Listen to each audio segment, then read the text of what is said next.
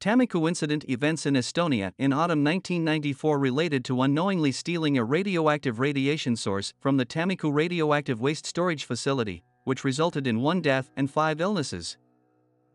Description of the incident on October 21, 1994, three brothers entered the Tammiku radioactive waste depository in Maniku village, Saku rural municipality, northern Estonia, Harju county, without authorization and took out a metal container containing a cesium-137 source.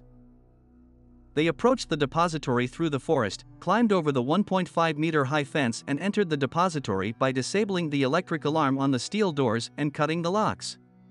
The youngest of the brothers, age 25, went down into the first section of the vault, found the metal container, and handed it to his brothers. While he was doing this, a cylinder about 18 centimeters long and 1.5 centimeters in diameter fell out of the container and was thrown into the vault. The perpetrator put a shorter cylinder of the same diameter, which further examination showed to be a source of radiation, in his jacket pocket. The brothers also entered the liquid waste storage facility, which was not equipped with an alarm system, and took several aluminum drums and emptied them of their contents. While they were doing this, one of the barrels fell on the first brother's leg, causing him to sustain a minor injury. The brothers took the barrels and the metal container to the car, which had been left on the road, about 50 meters away. They put the container in the trunk of the car and brought it to Tallinn, where they sold it as scrap metal. When the younger brother returned home to the neighboring village of Kiisa, he hung up the jacket with the radioactive source in the hallway, already feeling ill. A few hours later, the man started vomiting. On October 25, he was hospitalized with severe leg and hip injuries and died on November 2. Before that, he claimed to have been injured while working in the woods. The cause of death was diagnosed as renal failure. Radiation damage was not diagnosed. On November 9, the man's 13 year old stepson found a radioactive object in his stepfather's jacket and carried it to the kitchen drawer. On November 17, the child was hospitalized with burns to the hands, which hospital workers recognized as radiation burns. The medics notified the authorities. Estonian emergency workers measured radiation doses around the house and, after narrowing down the possible location of the radioactive source using thermoluminescent analysis and spin resonance imaging, they found the radiation source on November 18. It was transported back to the Tammiku repository. The man who brought the radioactive source home received radiation doses of 183,000 rads on his thigh and 4,000 rads for his entire body. The second perpetrator, a 28 year old man, received an arm radiation dose of 1200 to 2000 rads, resulting in injury, and the third, age 27, received a whole body radiation dose of less than 100 rads, resulting in mild radiation sickness.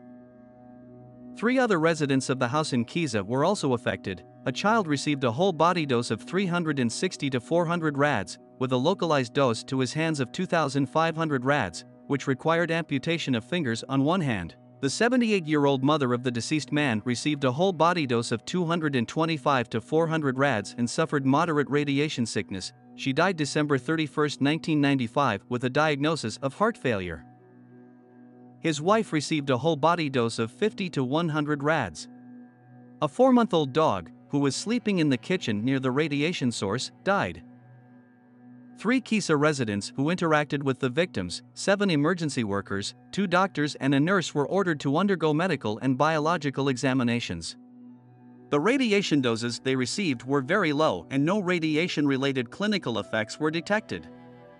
Consequences The Estonian authorities requested international assistance to analyze the accident and consult on eliminating its consequences. The Russian Federation, Sweden, and Finland offered their assistance to Estonia. This provided an opportunity to learn lessons from the incident and to develop measures to prevent similar incidents in the future. Estonia does not have a nuclear power program or nuclear research reactors, but there is a need to store radioactive waste arising from the use of radionuclides in medicine, research, and industry. In 1963, a central repository for low and intermediate level radioactive waste was built in Tammiku, 12 kilometers south of Tallinn. In the mid 1980s, renovation of the facility was begun to upgrade it to meet new criteria for the safe management of radioactive waste, but due to a lack of resources, this work was not completed. At the time of the accident, the repository was operated by a municipal enterprise, the Tallinn Special Vehicle Depot, under the supervision of the National Health Council of the Government of Estonia.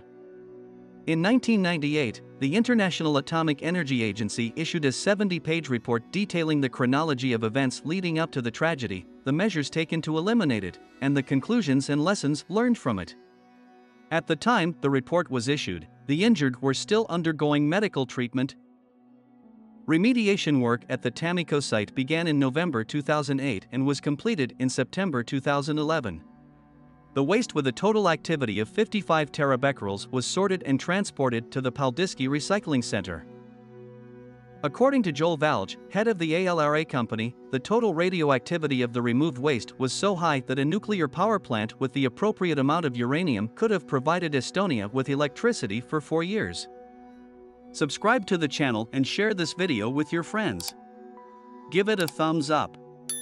Tell us interesting facts you know about the topic of this video. See you in new videos.